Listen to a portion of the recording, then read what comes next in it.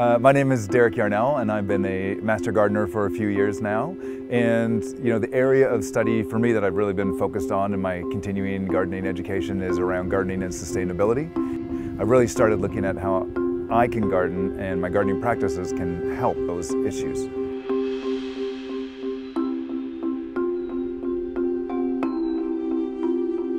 I've decided to turn my lawn into gardens and remove uh, my lawn every year a little bit more, although last year was a lot rather than just a little bit more. And there's about 800 square feet of new garden beds behind me that are going to be more or less native plants. So probably 80 to 90% native plants in order to create more habitat for wildlife and make it more beautiful as well.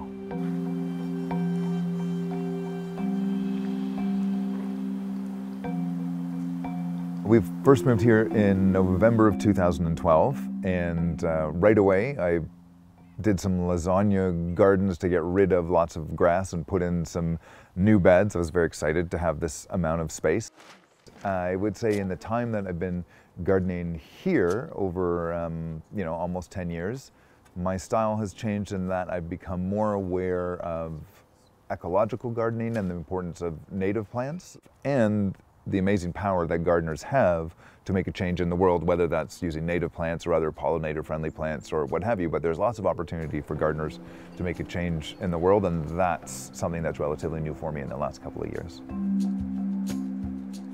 We did a garden tour this year that was really different than any tour that I've been a part of before or heard of, because what I really want to do is role model the inclusion of native plants into our urban and suburban settings. So you can see right? Anytime we put in a bed this big, you're just asking for the weeds to come in. So instead of trying to get all the weeds out, I'm only pulling the ones that are really encroaching on the plants that I planted. And part of the reason is I came out one day and the rabbits are sitting in here as they are every day, but it was eating the plantain. And I thought, if I get rid of all of the weeds other than the plants that I want to have in here, then the only thing the rabbits have to eat are the plants that I'm trying to grow in here. So in this area, there's transitions between three primary different kinds of plants. The bishop's goutweed, which is non-native, super aggressive. The false Solomon seal, which is the native plant close to the front border here.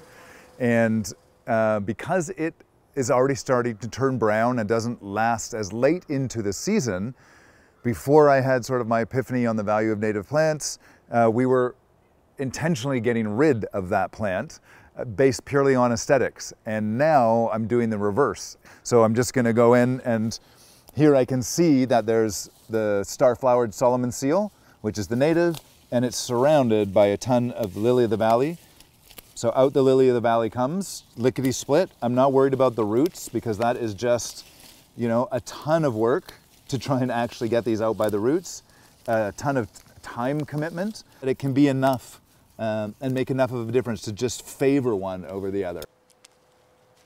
When I first moved here, actually, um, I did try planting some native plants because I'd heard rumblings about their value, and I thought, okay, there's some value, but let's be honest, they're not always as beautiful as the non-natives because the non-natives have been hybridized for and hybridized and hybridized and people have said we want to accentuate the color or the height or whatever aspect the hybridizer's chosen and so you get these amazing looking plants um, but sometimes it's been at the expense of the amount of nectar that they have or the bees ability to climb inside the plant because it's physically altered.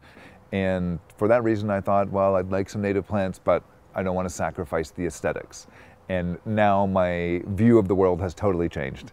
So I find it really exciting this year that I introduced goldenrod because for me it is really emblematic of the shift that I've done mentally to embrace native plants because I always thought goldenrod is just a plant that grows in the ditch and honestly my gardens deserved better than just plants from the ditch but now my mind's totally changed and I love it and so I'm going to either add more goldenrod here or some yarrow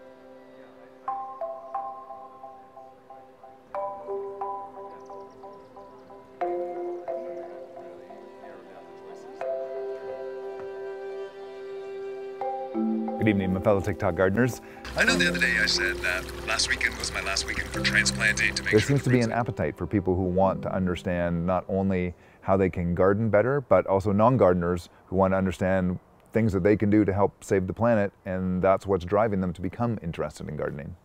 I've got a thought on something you can do to help with climate anxiety, and for anyone else watching this, the same thing. It's certainly something that's worked well for me and it's planting native plants. It may sound overly simple, but by planting native plants, you're really creating the foundation for your local ecology. And once you do that, you start to see more insects. And when you see more insects, you see more invertebrates and you see more moths and butterflies. And when you see more of those, you see more birds. And you really get a first hand feedback loop. And you can join the movement of people rewilding North America in our suburban and urban spaces by adding native plants. And by the way, none of these hydrangeas behind me are native plants, which just goes to show it doesn't have to be an all or nothing solution. Every little bit helps just do a few plants and you'll make a difference.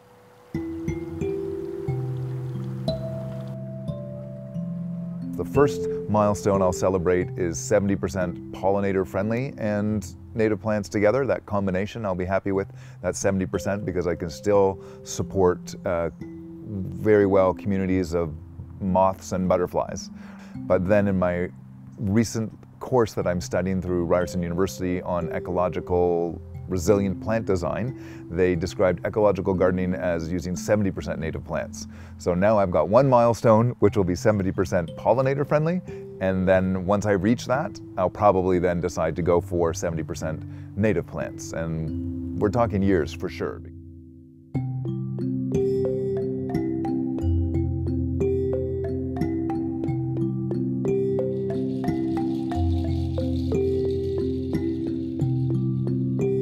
Tall purple plant is an annual verbena, and I've put an annual in here because the Culver's root, which is the perennial that I've planted in here and I'm head over heels in love with, especially I've got Culver's root in three different shades of purpley pink in here, but in year one, they're only growing a foot tall, whereas next year they'll be three to four feet tall and it'll be much more dense. So I knew I wanted to interplant uh, with some annuals this year just to give it some height and color while it was settling in. But this annual is amazing because not only do the deer and the rabbits leave it alone, it smells great and the pollinators love it.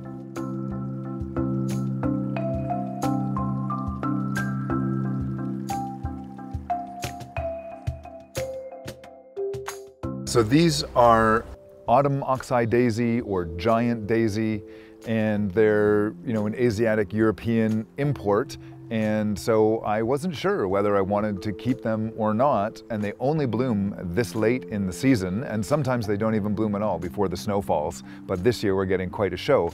And so this is my first year really evaluating and paying close attention to a lot of my plants to see how pollinators are interacting with them.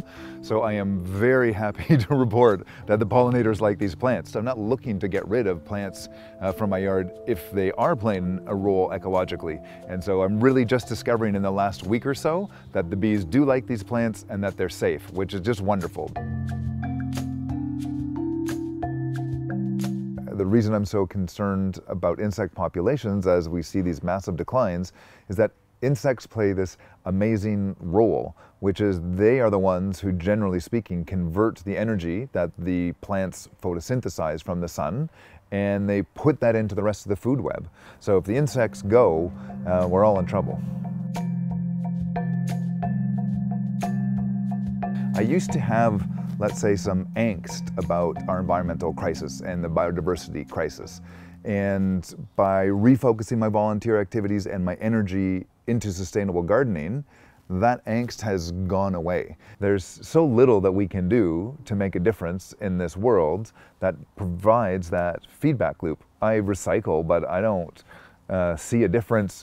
if I put my orange juice container in the recycle, maybe it makes me feel good, but I don't really see the benefit otherwise. When I choose a native plant and I put it in my yard, the bees come. When I uh, planted dill and parsley specifically because I wanted habitat for swallowtail butterflies, I had swallowtail butterflies in my yard this summer after I planted them. It's quite something.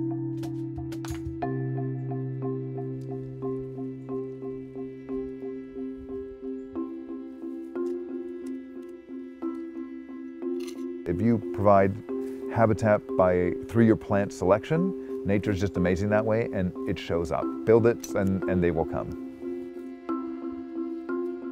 It's incredible to have now the empowering knowledge that the difference I can make is substantial and it's real.